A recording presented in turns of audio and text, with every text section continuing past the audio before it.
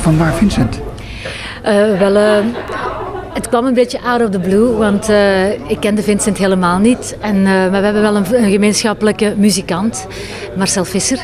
Vandaag ook musical director. En zij waren samen in de studio het album aan het opnemen voor Vincent. En toen kwam dit liedje, Zoals jij tovert met de tijd. En uh, ze hadden allemaal het gevoel, dit moet een duet zijn. En toen zei Marcel, maar ik weet eigenlijk iemand waarmee je dit duet wel kunt, uh, kunt doen. En dan zijn ze bij ons geweest.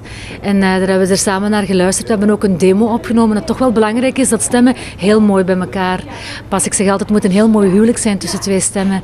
En dat zat heel erg goed en ik vond het ook een heel mooi nummer. Hele mooie tekst, heel, heel veel nostalgie. En uh, ik denk dat het nummer ook wel zo overkomt bij heel veel mensen. Ik, heb daar, ik ben er eigenlijk een, heel vroeger mee begonnen. Echt heel klein kunst. Ook heel klein, met heel kleine band. En uh, ja, als je dan, uh, dan ga je naar word je iets commerciëler en dan ga je uh, uiteraard met, met, met een orkestband optreden, zoals we dat zeggen. En dan komt er terug een periode dat je denkt van, eigenlijk mijn ding is wel in de theater staan, twee, uren, twee uh, uur durend programma brengen met een, een vaste band. Wel ja, we zijn uh, ik denk twee jaar geleden begonnen met, met concerten hier in Nederland. Heel stilletjes aan opgebouwd.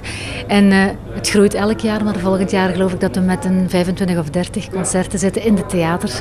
En ik doe dit heel erg graag. Dus uh, via die weg wil ik heel graag hier in Nederland komen. En uiteraard het album Als je lacht is uit. En uh, het wordt ook heel goed onthaald hier in Nederland. Dus enfin, het doet me deugd. Uh, het is eigenlijk een, een, een, album zoals ik ben. Het is, een, het is een, een, een, album die ook een beetje melancholie, ook een beetje...